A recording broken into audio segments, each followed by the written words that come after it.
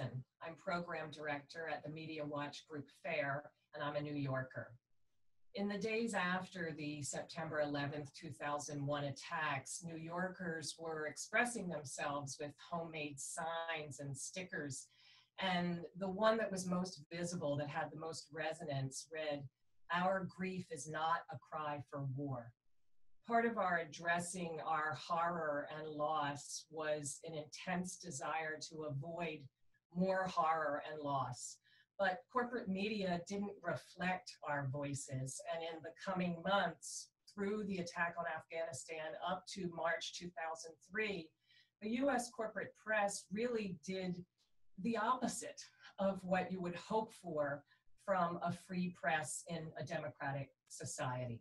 We needed independent reporting. What we got instead, with few exceptions, was uncritical coverage that took for granted the White House claims about Iraq having banned weapons. In February 2003, when Secretary of State Colin Powell went to the UN and made his presentation, media presented those allegations as fact, reporting that Powell showed satellite photos of Iraqi weapon sites, for example with TV networks attaching American flags to their logos and to broadcasters' lapels, we also got self censorship. NBC's Dan Rather famously said, George W. Bush is the president, and if he tells me to line up, just tell me where.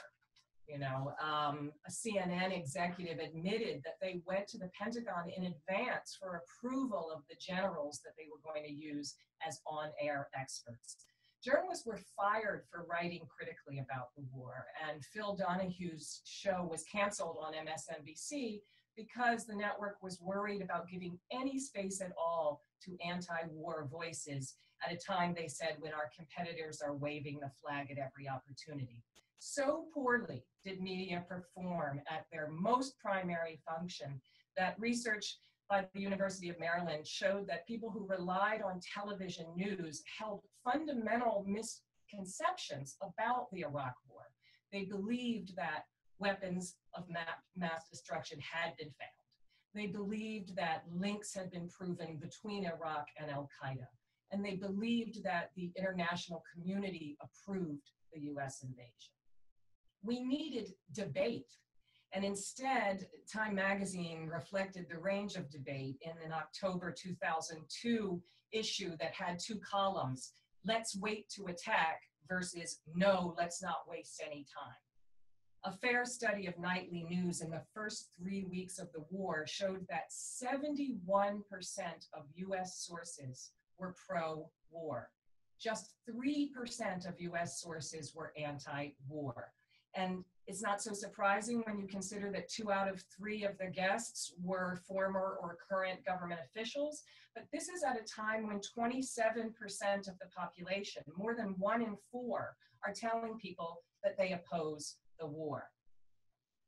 So there were massive anti-war demonstrations in October of 2002 in DC. When that happened, both NPR and the New York Times undercounted the attendees, and they said that not as many people had turned out as predicted. They got it so wrong, in fact, that they both had to go back and do the story again.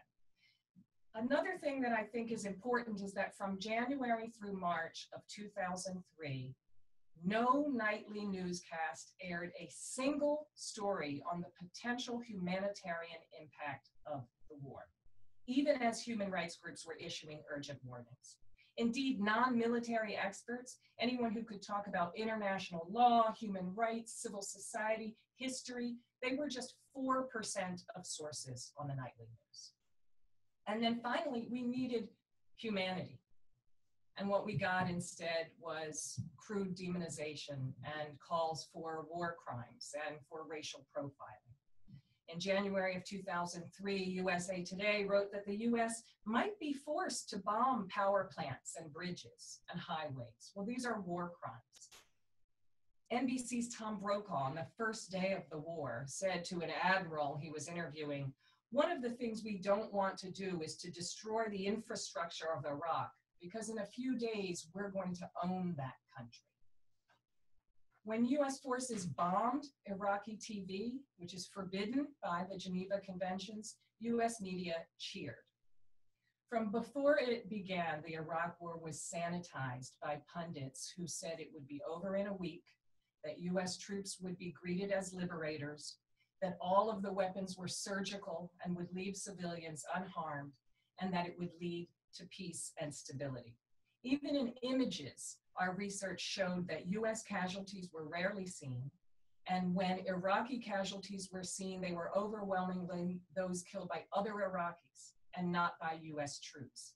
Media made it their job to keep us from asking questions and to keep us from seeing what was done in our name. Now corporate media try to tell us that everyone was wrong about the Iraq war. It's simply false. But right now, I resent most the way media misled us about ourselves, about what we felt and believed and were capable of. The way they told us that violence was the only possible response to violence, and they shouted over anybody who wanted to talk about other ways forward. That's why this tribunal is so important. We must never believe the stories that corporate media tell us about ourselves. We mustn't let them make us believe the worst of ourselves and of the world. And because they don't speak for us, we must speak for ourselves. And that's why it's so important what we're doing here today.